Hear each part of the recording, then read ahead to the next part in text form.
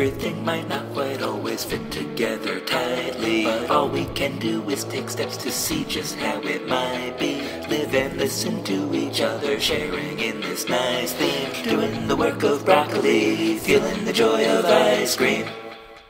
Hi, this is Mike Kaplan, and you're listening to Broccoli and Ice Cream. Thank you so much for doing that. As you may know, an episode comes out for free each week right here, wherever you get your free podcast content. And a bonus conversation is available for a small contribution over at patreon.com slash Mike Kaplan. Thanks for considering contributing there to keep things going here, there, and everywhere. And in so doing, you will gain access to both halves of each conversation I have with my guests, the broccoli and the ice cream. For each week, I speak to a guest, a friend, an artist, a performer, a writer, a comedian, a musician, a podcaster, somebody who does some sort of work in the world as represented by broccoli, and who experiences joy in their life as represented by ice cream. Today, that guest is Jessie Wayburn. Jessie is a comedian and more. She has a podcast called Taking Dadplications, a bi weekly podcast where she hires a dad at Dadplications on Instagram and Twitter. Uh, she is at Eat My Glitter for her personal Instagram and Twitter.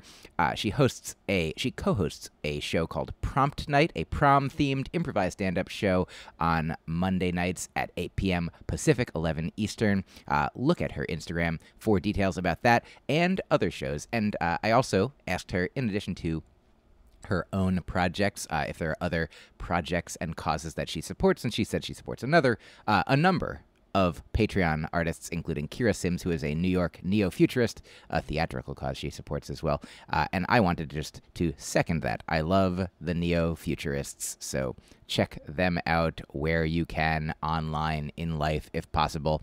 And uh, she also adds if people want a more traditionally uh, lucrative vocational organization to support, uh, she recommends Planned Parenthood, and I do so that as well. Uh, I recommend following Jesse, listening, watching, engaging. Uh, I was a guest on Taking Dad Dadplications. We talk about it. It's a really fun show, and uh, I'm happy to know Jessie and to introduce her to you via this conversation. Please enjoy.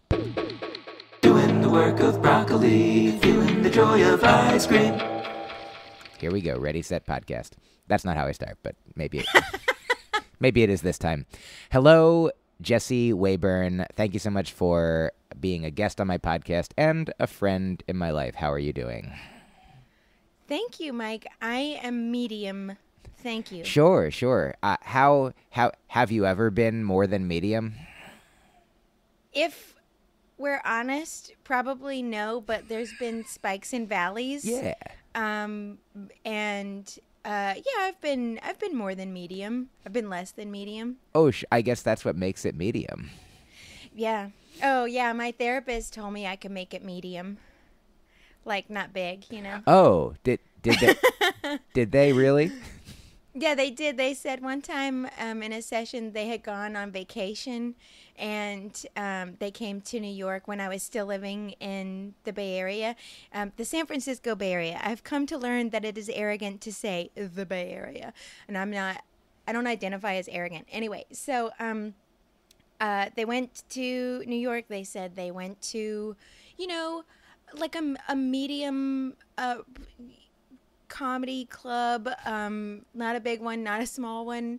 And i was like do you think i could i could do it? Do you think i could be in there? Did you see me on stage? And they were like yeah i could totally see you on stage. So i was like cool my therapist thinks i can make it medium. I I really like the phrase "making it medium." I mean that that could be an album title for you. Uh, I don't Oh. I don't know if you're already considering it, uh, but now now i am please do. So, uh, I mean, if you wish.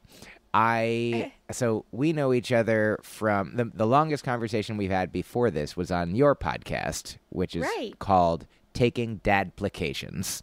Uh, yes it is where if I correct me if I'm wrong, you uh, you have guests on who are essentially interviewing uh, humorously and I mean in with sincerity, but uh, to for the position of your dad because you did not have a standard uh, dad situation growing up. Is that right? you nailed it that yep I uh, didn't have a dad, so I'm hiring. and and you also are a comedian uh, in addition Mm-hmm. to having this podcast and so now uh, the first question that i often ask is when you were youngest uh, what were the ways in which you created art or you know exhibited manifested creativity? Uh, in ways like did you always write? Did you perform sing act dance draw? And did those uh, whatever ones of those you did uh, how did they if they did lead you to where you are creating things today The answer is yes to all of those. oh great okay next question Um, Yeah. um, I would say that probably I was a performer from the get go. I went to stage camp and clown camp, and I got into chorus and plays, and I would make make up dances with my cousins at Thanksgiving from an early age. I think one of them had like a play school karaoke machine, and we would sing, and um, and one time I did a strip tease for when I was eight. I did a strip tease for my my favorite of my mom's friends. I don't know where I learned to do that, but I was like, he'd probably like that. So um I have run the gamut of performance in my life. sure yeah. Uh, and I know also at, we're recording this uh, today on a Friday, uh, and it it will be released uh, soon, if not today. Uh, but tomorrow, as of this recording, I know you are, and you're starting doing. Uh, you you create dance in the world as well. Is that Oh. So, okay, so by day, I'm a stage manager. Um, ah? I see. And Go on. So I'm stage managing this dance piece. I have no responsibility for how they move their bodies. I just make sure they are where they are supposed to be at the time we agreed upon, and then they have the things that they need to do the things that they agreed to do before we started all of this.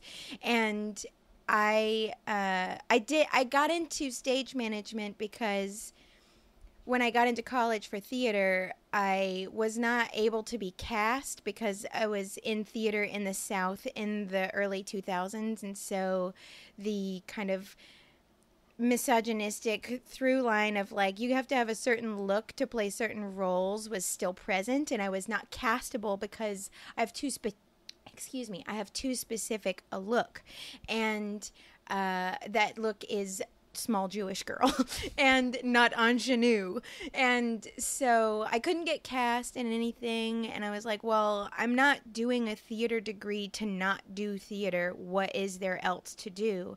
And so they said, well, we need an assistant stage manager for this behemoth of a show. Can you like take notes? And I was I was like, girl, I'm in college. Yes, I can take notes. and so I started doing that and I realized very quickly that it was a job nobody wanted to do and also that was the highest paid job in theater and meant that I would have job security and then I just kind of rolled into stage management, sort of eschewing my original dream of doing stand up from an early age. Like from an early age, I wanted to be a comedian.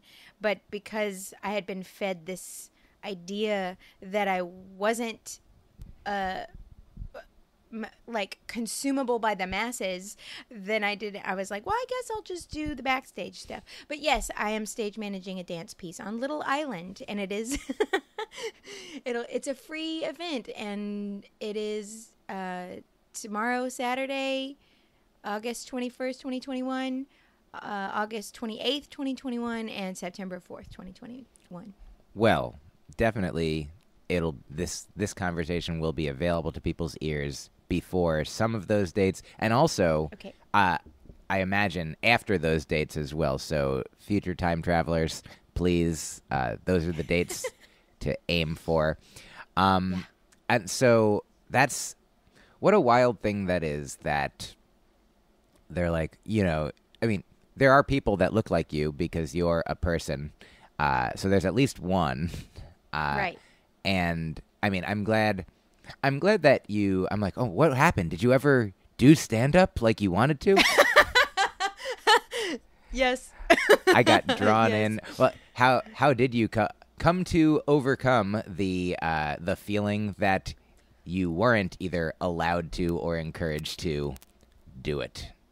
That's a good question. It's been a slow unlearning of these kind of brainwashy things from my childhood and into adulthood. The media feeds you and like people around you, you know, unsupportive kind but unsupportive family members not meaning to to thwart your efforts or whatever to to move forward in your dreams but but really don't you want to do something more lucrative?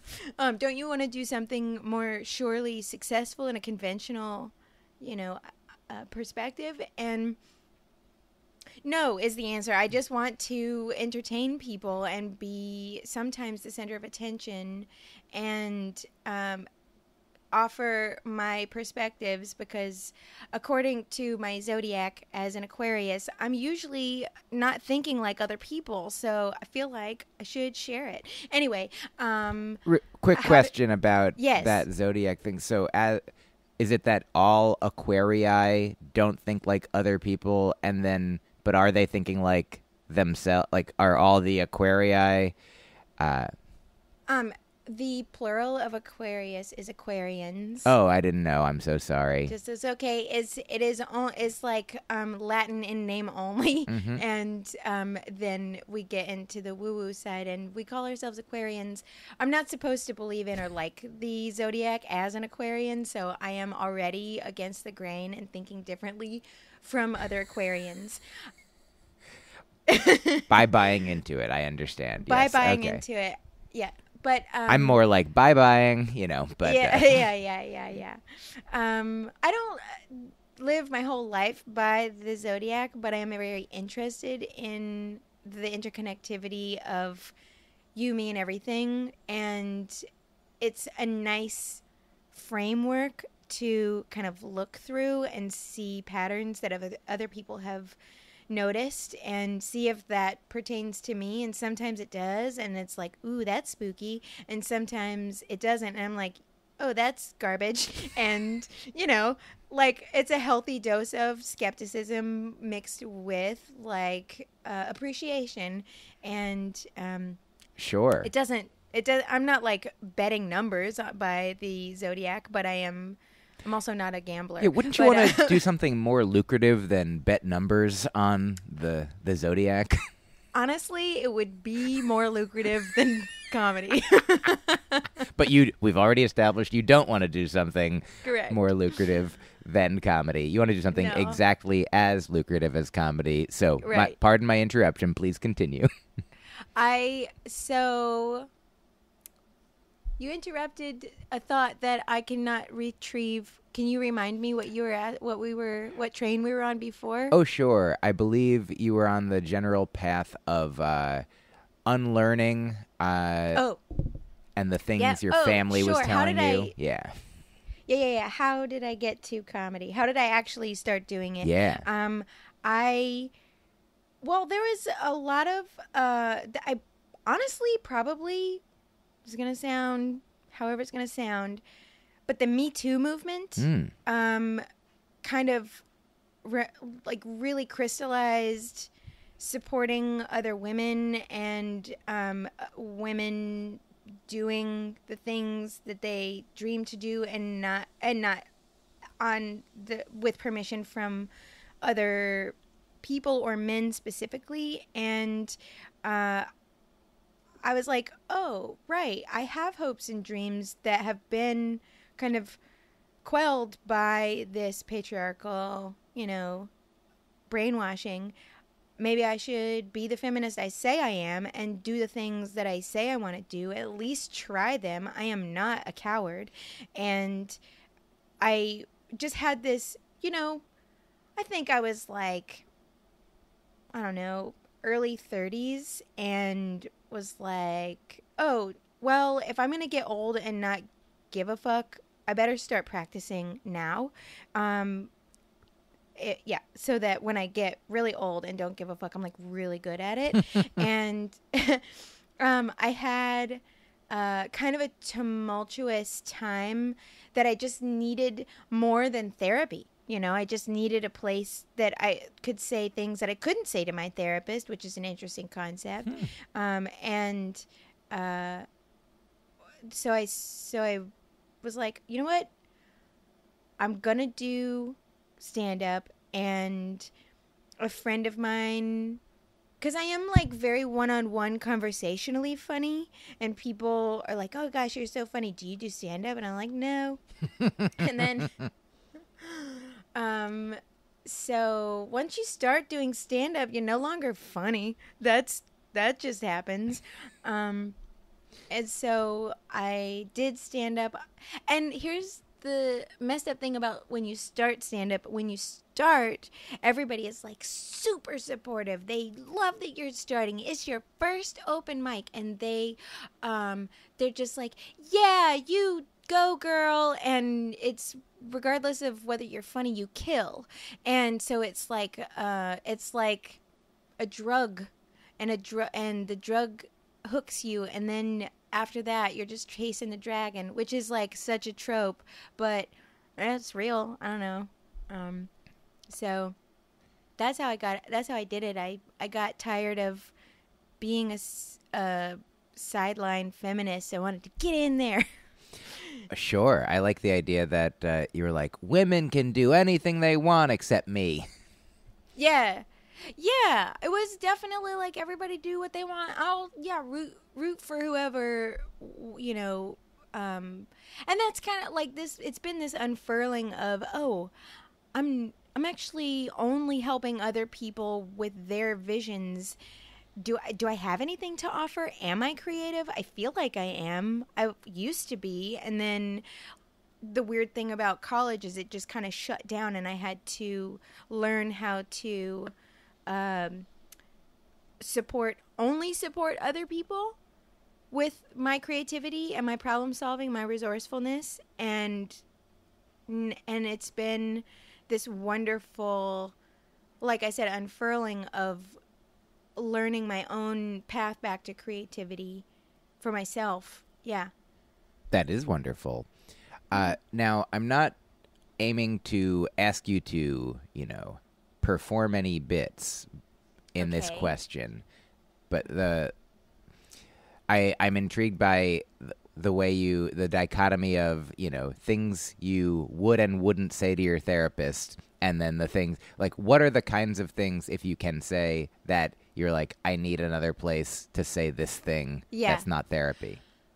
Oh man, so hope my therapist doesn't listen. um, um, We can put this behind the paywall if we need to. Great. Who knows? They might be a big fan of yours. Mm-hmm. Um, they like comedy. So, uh, okay. So, like, I did never really talk about my relationship with substance use Mm. and or abuse with my therapist, which is like a weird place not to talk about that. Um, I would talk more about like trauma and um, things that led to substance use and or abuse and uh so like on stage and i know you're not trying to get me to say a bit but like i'm a, i um work best in examples so uh, one old bit that i don't use anymore because it's too it's like i've grown out of it um it was very close to when I quit drinking and smoking. Um, I quit drink. So how it goes? I quit drinking in. Mm-mm, I can't remember. On. Uh, I quit smoking in February. I quit drinking in April. Uh, I got broken up with in June, so I can't quit. I I can't quit doing drugs, or else I'll get home. Oh ah, nope. Hold on. I believe in you. Yeah. You believe? Thank you. I'm gonna. I haven't. I didn't. I'm not properly warmed up. Uh. So all right. So I quit drinking and I quit smoking and ultimately uh lost my job and um some other oh got broken up with and uh, so i can't quit doing drugs or else i'll get homeless uh, that's the punchline. It's it's really great to bomb your own joke. Uh, well, but yeah you've grown so out of it. i have grown out of it. I haven't i thought about it. I thought about that bit the other day because like i'm so i am three years sober and three years not smoking cigarettes and um, if I'm honest, California sober. Uh, so I don't like that phrase, Mhm. but it is a, a nice euphemism for I yeah I, I do weed. Um, so uh, it's nice to be far from kind of a life experience that you need you, like one needs to process like oh those things don't hurt the same way anymore so i don't need to make fun of them That's that makes a lot of sense. That's very meaningful. Uh, it's also when you were talking about how like not talking about substance abuse in therapy, but rather addressing the you know traumas and root causes of like uh, you're like um like imagine if your therapist is like why have why haven't you told me about any of your symptoms? We've only been dealing with the root causes. like as if you're going to be in trouble for only talking about the uh, the direct items. well that's oh man that's that's rich because uh like you know you it, co- comics who go to therapy often are trying to make their therapists laugh and this is sort of a riff on that where i'm trying to like heal things i'm not telling them about by telling them about other things I, it's like uh, i'm trying to do their work for them or i don't Wow. yeah Uh, i guess I mean, how long have you been going to therapy? 10 years And have with the same person or different people? same person i okay so uh the inciting incident to go to therapy this i have been to therapy several times in my life and this uh this particular stretch This of, season? uh, uh, this decade um brought to you by uh a, a series of intense and unfortunate events in close and rapid succession. Uh, I um, lost my job, uh, found out I was, uh, no, lost my job, met my father, found out I was pregnant, had an abortion.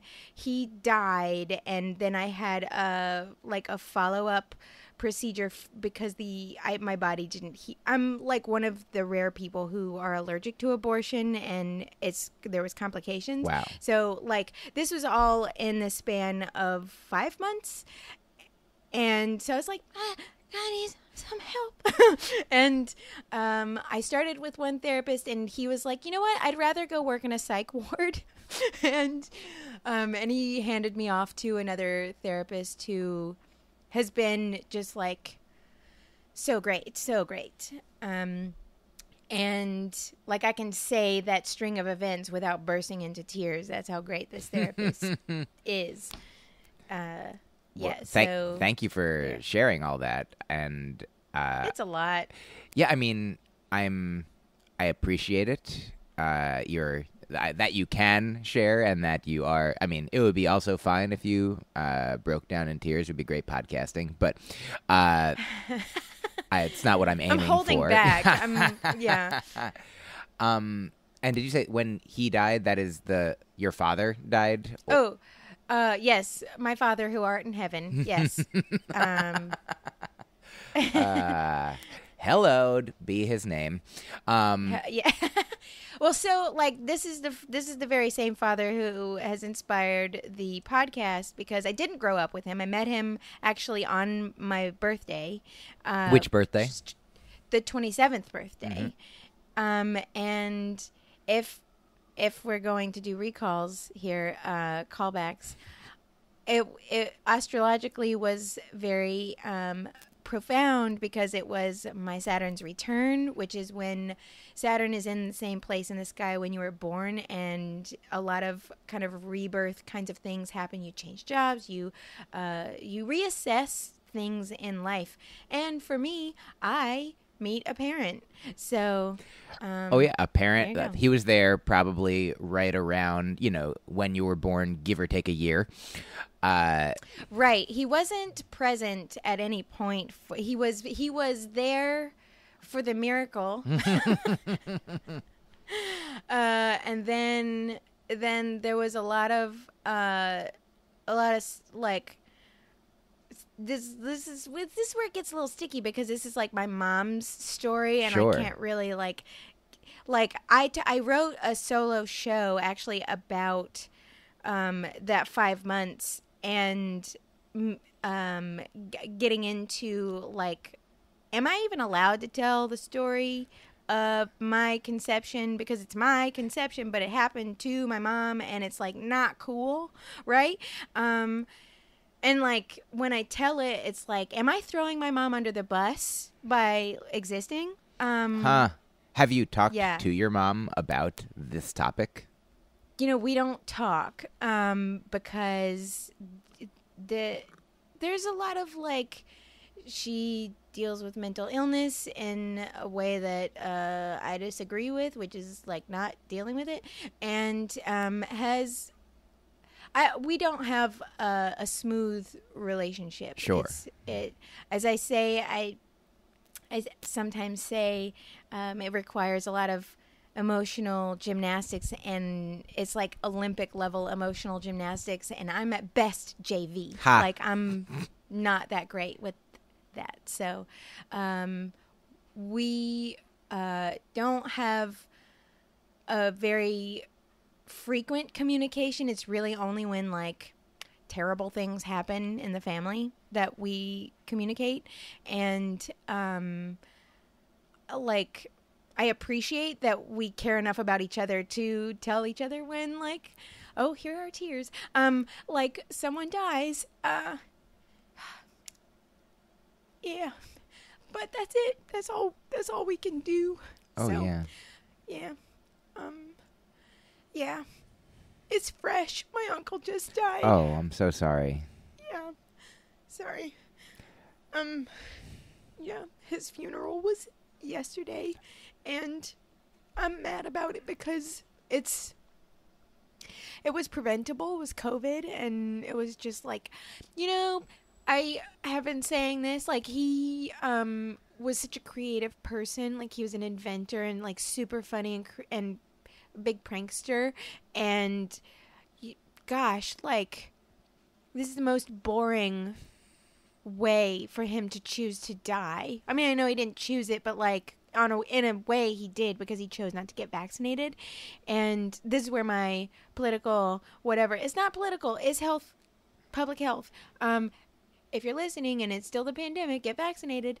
Um so he did not get vaccinated and he you know participated in group activities with other unvaccinated people and we know how viruses pass so um Yeah. it just is such a like such a uncreative way to go i really feel like he could have written that better you know Uh, I understand. Uh, I'm really sorry. thanks um i appreciate that i can feel the energy where i'm like i'm trying to make fun of this and cope with comedy and it's like actually this is really sad um yeah so Yeah. Uh, I I understand. Uh, historically, comedy equals tragedy plus time, and uh, yeah one day is a small unit of time. it's just it's like you have to have like an order of time you know like it's not just like a little bit of time you have to have more time to make things be funny like yeah Oh um, yeah. I mean, I I can hear. So, uh, I'm sorry, and uh, I oh, I guess that's I guess there's no end. It's just I I am sorry. Uh, thank you Oh, I mean, there's so many complex, you know, like emotions. It's like you know, if we've learned nothing from the the Pixar movie Inside Out, uh, that you know joy and sadness can coexist. You know, like Yeah. humor and sincerity uh, as well. So you can both, you know. Love your uncle, be mad at him, uh, Yeah. make fun of the situation, you know, Yeah. be it, it can it can all be in in various Well, and that's what's so great about the therapy that I have um, paid a lot of money for because I um, I'm not judgmental of any of these things. Like I'm, uh, I can let my feelings come up and pass through and recognize that it's a wave and it's not like how I'll feel forever or, you know, um, that it's not uh, it's not who I am. It is just a reflection of what I feel, and feeling is fleeting. So, um, it's it's okay. Like I'm okay with feeling the big waves. I'm all right with it. uh I'm glad. Thanks. I'm glad you're you're good with feeling the big waves because Yeah. uh, it sounds good. Um so uh before we conclude this portion of our conversation, uh Mm-hmm. the final questions I uh I like asking, uh, they'll be th- sort of a three-part question and you don't have to answer any of them. They're all just for if you want to. Uh, the first w- first I say is just because sometimes people feel uh, a pressure to be like, oh God, I don't have one.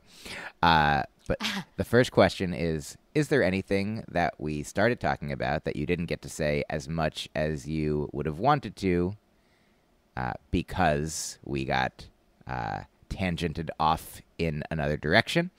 Uh, so if there's anything nagging and being like, "Oh, I didn't finish answering that," like again, there. If you're like, "Oh no, I don't, I don't think there is one." The second second part, you can sort of let these all uh, roll over you like waves as well. Uh, I don't know why I think about waves. You know, uh, who knows?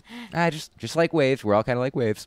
Um, uh, we're, we'll soon be waving goodbye. But uh, is there anything else about your life? Like we've only known each other a short while, and you've known yourself longer than you've known me. Is there anything Yeah. about you that I didn't even know to ask about with respect to your life as a, a creative person, a person doing the the work that you're doing uh, on yourself in your life in art in you know for professional or personal purposes uh, and Yeah. the third specific question is did you want to say anything more about your taking dad dadplications podcast and because i think you did start saying like that's when i came to that and in discussing the that five month chunk of your life Oh. uh, Yeah. Okay, so we'll start with the podcast. It comes out every other Monday. The next one is coming out this Monday. Okay, uh, that way. um, uh, it is the the podcast is uh, a joy and a delight, and it is similar in kind of, um, you know, earn, earnest interest in the life experience of the interviewee um, in th- the way that I feel you are approaching your podcast um, without the pressure of, uh, you know, trying to get a job. thank you i and i was Uh, i very much enjoyed being a guest on your podcast oh, thank you. I have very much enjoyed our our interview. It was great. Um, and for those listening, I did hire Mike to be my dad. Um, I guess to answer your first question, um, it's not anything nagging, but it's actually a question for you, um, or really more like a it's a piece of gratitude. Um, I just want to say thank you for being an open mic, um, and I'm sure you've gotten that before. Um, I thank you. And my very first uh, album I created before I was even pursuing comedy specifically as a I was a musician, and I recorded an album over the course of twelve weeks, uh, every Tuesday at an open mic night in Whoa. Cambridge, Massachusetts, and I entitled the album "Open Mic Night." Nice. I'll have to dig that up. And is it available? Uh, great question. It's it's not publicly available, but it is privately available uh, because it it must come with disclaimers. Oh, okay, okay, right. Um, you got my email address. Mhm, All right, mhm. so cool. Um, and then to answer your second question, um, other thing, other work that I do artistically, I'm an avid knitter. Mm. I uh, crochet. I do, fiber arts in general are a big deal to me. I have a tattoo of a ball of yarn. Um, I feel like if like if I say I'm a comic and not also a knitter, that just isn't a full enough picture. Um, but I also uh, like you don't we don't know each other super well yet, but I'm very looking forward to the longevity of our friendship and learning more about each other. Um, but I am a, uh, really into cooking and um, uh, music. So those are those are my they're not hobbies. They're like passions. So Oh, I Yeah. I thank you for the the distinction. Uh, well, and does that I I think that'll also lead us nicely into the next half of our conversation, which will begin for us right after this, and for other people. Uh, I mean, whenever whenever they want, if if they want, but uh, it could have been even before, depending. Like that, people can listen to things in any order that they want to. So, but before we go, I'll say I'll ask one last question, a very specific question. As somebody who is into the fiber arts, as you are, uh, and this is going to be kind of sincere, but mainly a joke masquerading as sincere. Uh, it's I'm going to be telling a joke and offering a joke, but it's in the form of a question. Uh, so, as somebody who is a comedian into the fiber arts, have you considered yourself uh, a knit wit? Listen, okay, I the first show I produced it was in yarn shops and I tried to incorporate nitwit into the title and I was like it's just too on the nose and I I have to be uh, smarter about this so um, that show was called In Stitches. Mm. I mean, that's that's there as well. So, nitwit uh, caused you on the nose woes. Yes, yes. Um, Knitwit is uh, it's also in the knitting community. It's like a brand. So I needed to be respectful and not steal somebody's name Yeah. for my Well, comedy show. I have uh, no such qualms uh, about saying it here on this Cool. podcast. Yeah. Uh, that's in fact M M Y Q. The way I spell my name is short for mine. Your qualms. Um, Oh, so that's good. I like that. thank you, Jesse. Thank you for being here and sharing so openly and uh, uh, unexpectedly, vulnerably, perhaps, uh, about so many things. Well, I guess thank you. I am. I just. I should have. I should have warned you. I'm just. This is what I am. I'm open, and uh, you're an open mic. I'm an open Jesse. So Oh yeah, Um, no no warning necessary as long as you know I don't I don't want to overstep or pry. Uh, but if you you know I'll tell you I'll tell you this last thing. Uh, I have a, a safe that I that I have. It's like a, a little safe that I've had since I was a kid that has a yeah. uh, a one number combination. Uh, Oh. if you you just turn it to the number 15 and then press down the lever and then it opens. Or if you don't know what number it is, like if you ever need to open my safe and you don't remember that it's 15, you can just hold down the the open button and then spin the knob and then when it gets to the one that opens it, it'll open because it's an only only a one number combination. And I I like I feel like there are some people that are like that for me, like that I am often like that, that you know, holding down the open button and Right. and then if you meet somebody else who's also holding down the open button, then you can much sooner than you might otherwise uh, open and connect to each other. Yeah, that's an that's a very apt analogy metaphor. I am I am like a safe. Like you can tell me anything, uh, and I'll keep it. I'll keep it safe. I'll probably forget it. Um, You'll keep it what? safe. Okay, right, right.